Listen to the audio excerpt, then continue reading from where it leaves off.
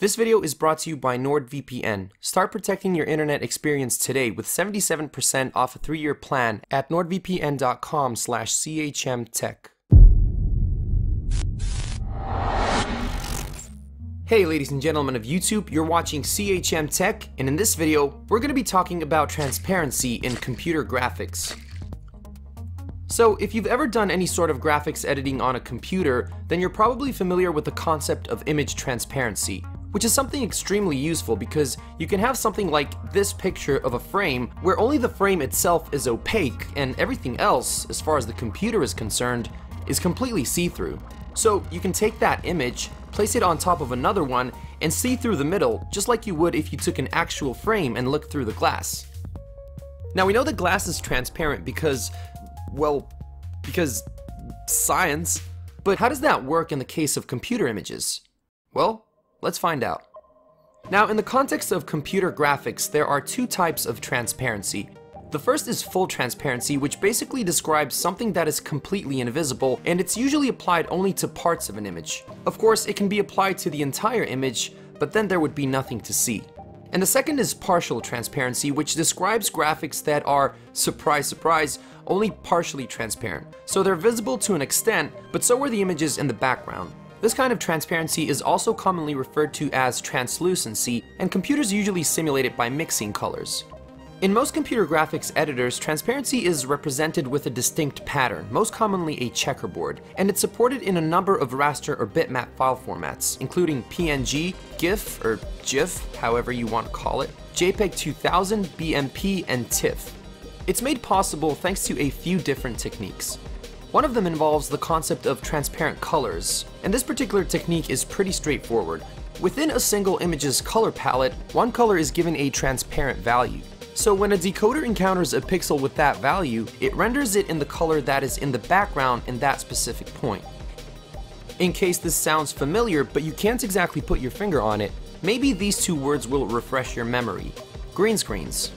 The technique in which green screens are used to remove the background from a subject in a video or photo is called chroma key compositing, and it basically works on the same principle.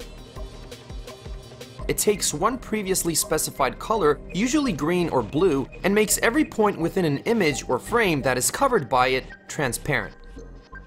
The reason why green and blue are most commonly used in this technique is because they drastically differ from most human skin tones, but practically any color can be specified as the one that will be transparent. However, if a transparent value is given to a color that appears in parts of the image or frame that are intended to be opaque, those parts will start vanishing, so a transparent color should always be chosen carefully. Another way of achieving transparency in computer graphics is by alpha compositing or utilizing something called an alpha channel.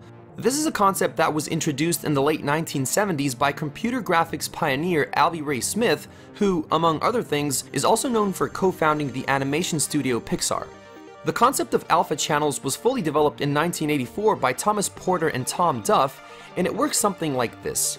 RGB images that are displayed on screens are made up of three components, better known as channels, which separately contain information for three different colors, red, green, and blue.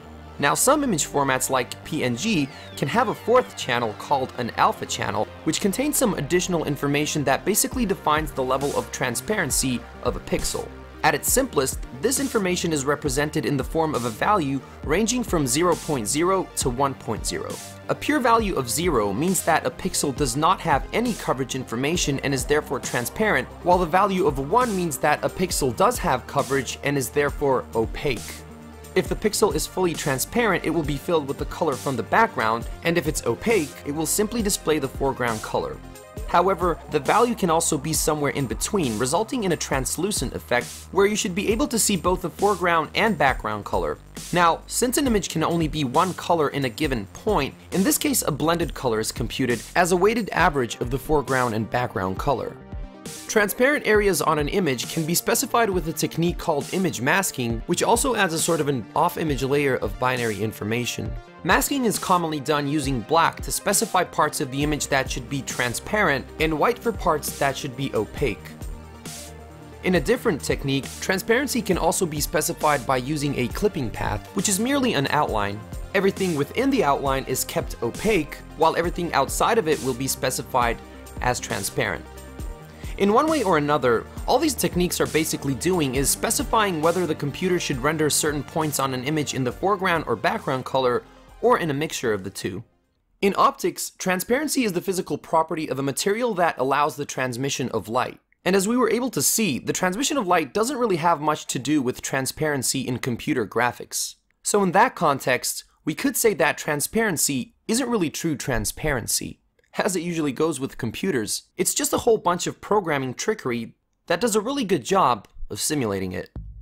The thing with programming trickery though is that not all of it is fun and useful. A lot of it can be bad and used against you, especially on the internet.